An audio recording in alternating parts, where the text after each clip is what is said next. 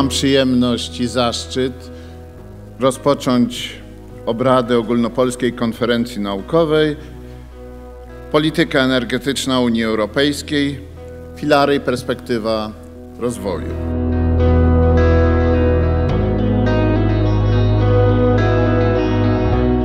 Polityka energetyczna jest jedną z najbardziej strategicznych polityk unijnych.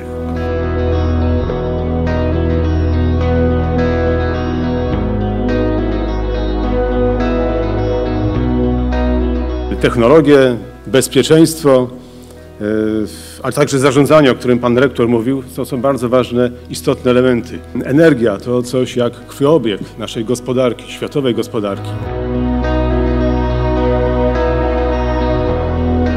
udanych obrad, e, inspiracji, e, a także pewnej odwagi w myśleniu na miarę Ignacego Łukasiewicza.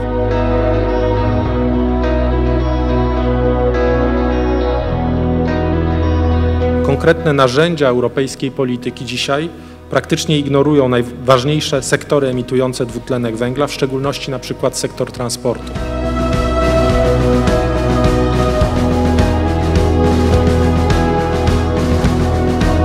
musimy mieć cały czas jedno oko skierowane na świat i cały czas mieć tą świadomość, że te globalne trendy e, nas nie tylko dotyczą, ale też redefiniują.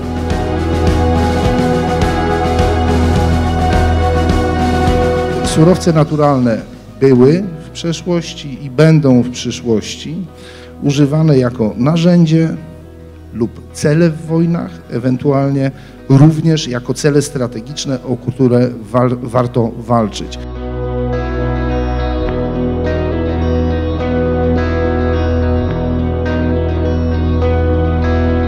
Pierwszą jest ta grupa determinantów o charakterze techniczno-ekonomicznym.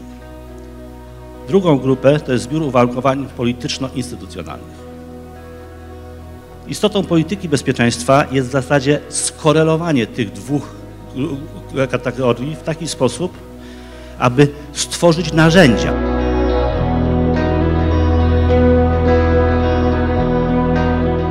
South Stream to projekt do gry politycznej z Ukrainą, blokowania południowego korytarza energetycznego, dominacji gazowej na Bałkanach, w Europie Środkowej i Wschodniej, nacisku politycznego na rządy państw regionu, wspierania interesów politycznych Rosji w regionie.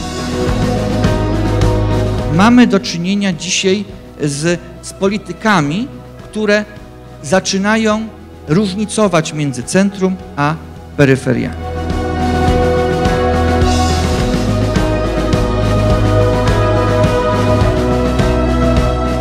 Z tych e, prezentacji w sposób naturalny wynika, czy też wypływa, że polityka energetyczna jest e, pewną grą interesów. Polska transformacja energetyczna powinna być dostosowana do naszych uwarunkowań i dokonywać się, to co było powiedziane na samym początku naszej dyskusji, drogą ewolucji, nie zaś rewolucji.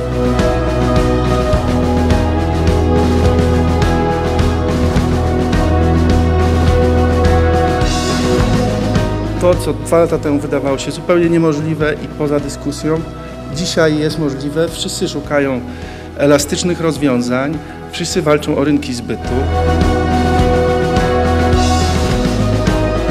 Spróbujmy zacząć bilansować system energetyczny w mniejszych obszarach.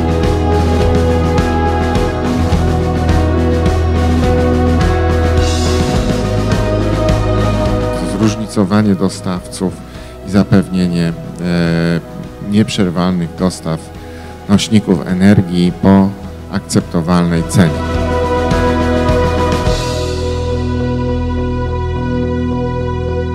Na rynku energii cechą charakterystyczną jest występowanie monopolu naturalnego.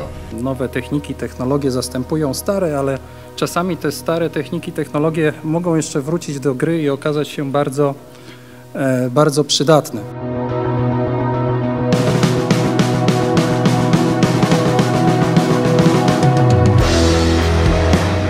całego rynku, tak? to co jest ważne, to mieć możliwość wyboru. Tam są y, tworzone technologie, dzięki którym y, tak naprawdę Polska ma szansę stać się liderem. Takim faktycznym, rzeczywistym liderem y, kiedyś fotowoltaiki światowej.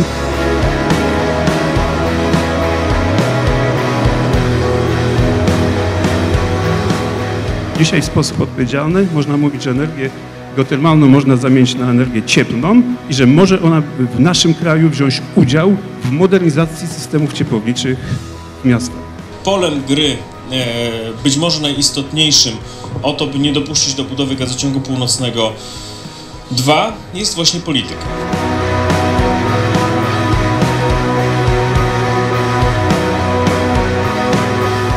Jeśli będziemy kupowali gaz z Niemiec, z Czech i Słowacji, to nie zrealizujemy jednego z elementów strategii.